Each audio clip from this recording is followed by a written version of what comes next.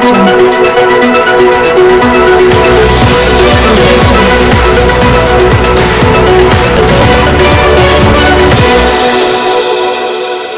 gave Senator Abaribe money to remain in the PDP. Governor Wike. How can a member of the bar and a life bencher claim he bribed me to remain in the PDP? Senator Abaribe. This is our discussion today. Sit back and enjoy it. The sitting governor of Rivers State and the leader of the aggrieved G5 governors otherwise referred to as the integrity governors, has claimed he offered Senator Enyi Naya Abaribe, the senator representing Abia South Senatorial District in the National Assembly, money to remain in the PDP. The question now is, why would Wike offer Abaribe money to remain in the PDP? I will tell you why.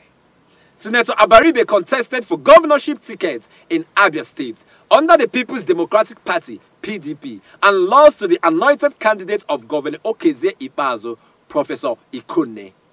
Abaribe believes he has done so much for the PDP not to get the governorship ticket of his state. Even at the National Assembly, as the leader of the party in the Senate, Abaribe was a voice to reckon with. Now, Wike is accusing Abaribe of collecting money from them to remain in the PDP after losing the governorship ticket of the party in the state. This is a plan to stop Abaribe from contesting under any other party to return back to the Senate. Here can accuse Abaribe. Watch. I'm aware because some people didn't get tickets in one of the senatorial districts. They went and collected from. Let me tell you, today we commissioned a road in Oviungwa local government. And I'm sure that person is from Oviungwa local government. I don't want to tell you what I did. He promised me that he will not leave PDP. And I came, I called the governor. Please. The brother said he's not going to leave PDP. I said, what do we do? He said he needs some money. We gave him the money today. Three days time, he left PDP. Do they have integrity? Over integrity. Can you vote for such a person? Can he represent us? Wike keeps talking about integrity, but he just admitted giving bribe to Abaribe, a custodian of the law, confessing in public of giving bribe to a lawmaker, a senator of the Federal Republic. This is crazy. Senator Abaribe has now replied Wike. Watch. Sometimes, you know, um, in Igbo language, there's uh, an adage that says that gara gara for okay. Yeah, rara. In other words, hyperactivity, when it's over, when you overdo it, it might be leading you to insanity.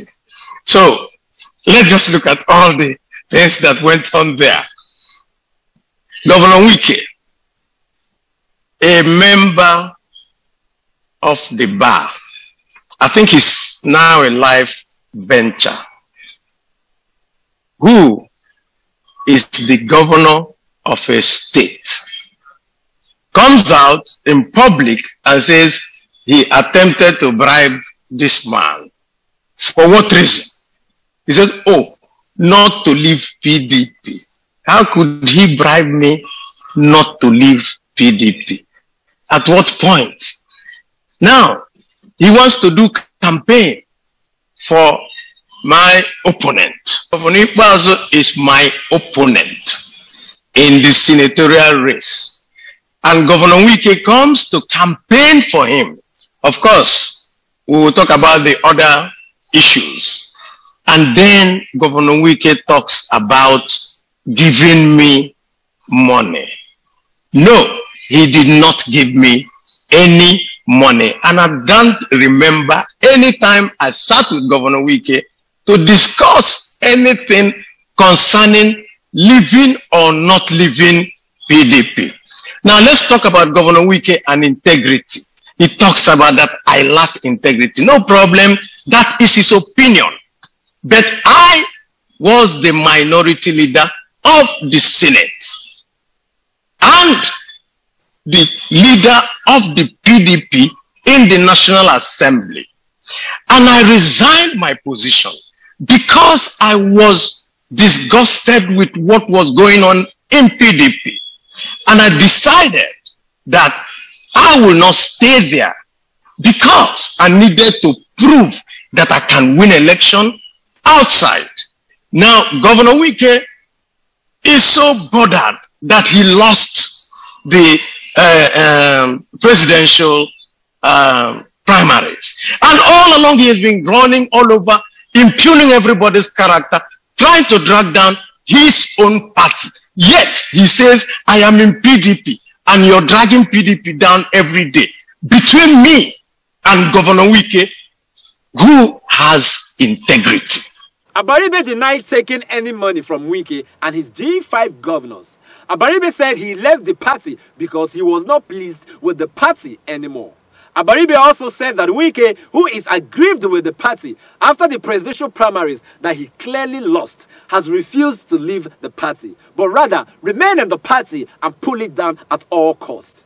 Between a man who walked away and a man who refused walking away but chose to remain in the party and pull it down, who lacks integrity? Abaribe asked.